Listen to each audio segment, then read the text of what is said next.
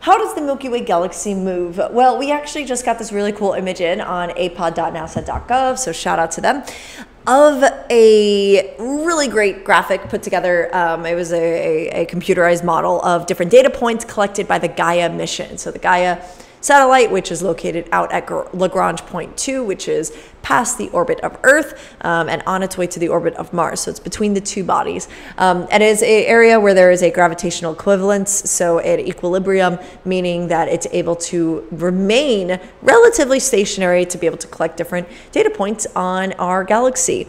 And what you see here in this image is something really, really cool. Um, You've got blue lines and you've got red lines, and this represents blue shift and red shift, which means blue shift is something approaching you, red shift is moving away. Uh, this has to do with not just light, but also with sounds. It's a compression or a the decompression of wavelength. Um, so it's getting really, really squashed and it's shifting over to the blue side of the electromagnetic spectrum, or it's getting really stretched out and elongated, moving over to the red side of the electromagnetic spectrum. And so um, what's cool about this image is um, these are a, a collection of about 26 million stars um, and they, they, they, were measured uh, like where they're located how fast they're moving to or away from us known as the radial velocity.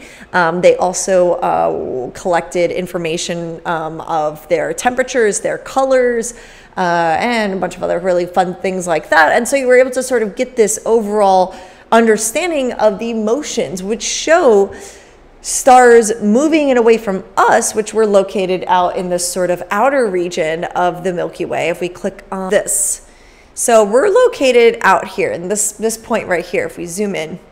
So this is that center part of the Milky Way galaxy. You, if you could kind of see like a yellowish color to it, this is that center bulge where there is the supermassive black hole known as Sagittarius A.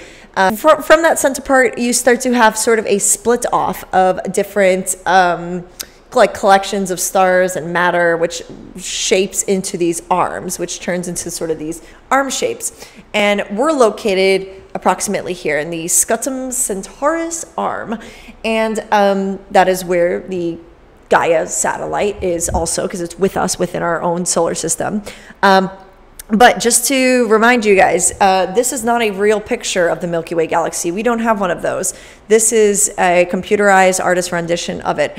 And that is because uh, we haven't sent anything beyond uh, our own galaxy to be able to image it. So this is sort of an overall estimation of the shape and how it looks and everything based on just actual collections of data points of different stars within our galaxy because uh, we've been able to, to, to see and map quite a lot of it thanks to missions like the Gaia mission.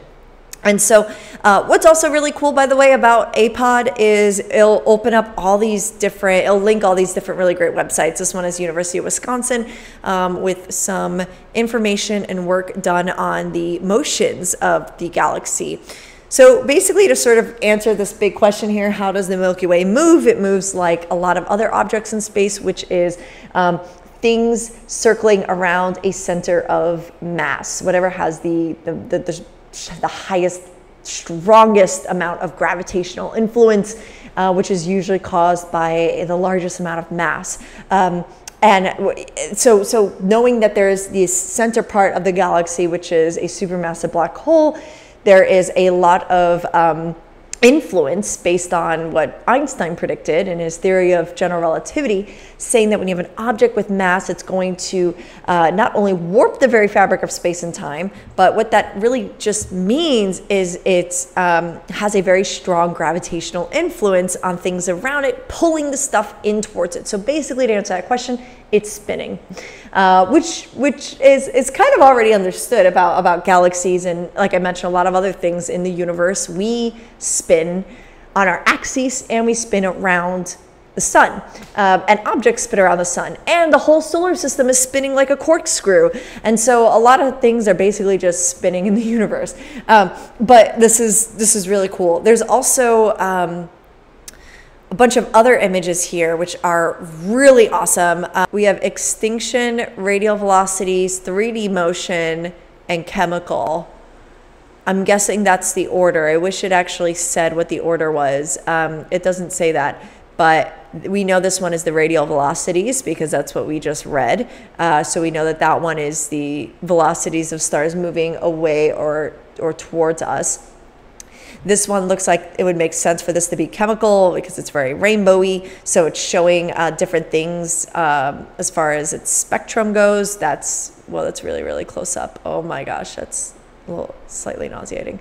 Okay, um, this one, so maybe this one is the extinction, which doesn't give the description, but I'm guessing an extinction is when things are done and extinct. Stars that died? I don't know. Then you have uh, 3D motions. So maybe this one is 3D motion up here, three dimensional motion. So how would that be different than the radial velocity? Radial velocity is based off of if it's moving to or, or, or away from us. So 3D motion would just be, I guess, its general current motions. Maybe? I don't know. I'm not sure. It does not describe it though, so I'm sorry, guys. Click on understanding details. It opens up this cute picture of a cat, which is really funny. Um, click on Milky Way. And this comes up, which is really cool. The universe within 5,000, oh, sorry, 50,000 light years of the Milky Way. All right, and well, there there is your latest on the Milky Way galaxy and some information that just came through from the Gaia satellite as far as the different motions of stars go. Thank you all so much for listening. I hope you guys are enjoying some of these videos. I am sharing various different videos, such as not just space content, but also things about overall wellness and health and fitness. Um, because that stuff is important.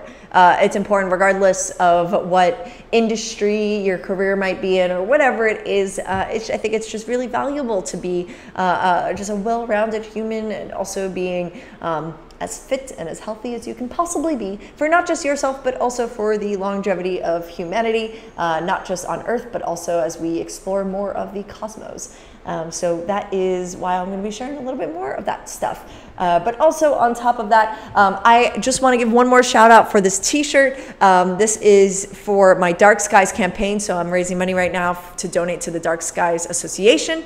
Um, which is a really important association to not just raise awareness around light pollution and sort of reconnecting ourselves to space and the stars above, um, but also to the actually taking action in limiting light pollution in certain areas um, wherever they're able to basically get to and target, and not just for humans, but also for the life that we share this planet with. Uh, so other types of species and animals and plant life that it's also affecting.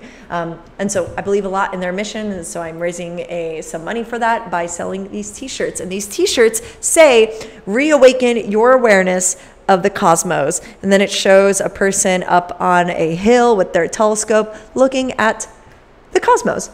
All right, well, thank you all so much. I hope you guys like this video. If you do, feel free to hit the subscribe button or like this video and leave a comment. Um, as always, uh, feel free to reach out to, to me on social media or here on YouTube to say hello, to ask a question, um, or if you want to help support, um, I do have a Patreon page, which is just Astroathens, patreon.com slash Astroathens. All right, everyone, thank you so much. And as always, ad Astra.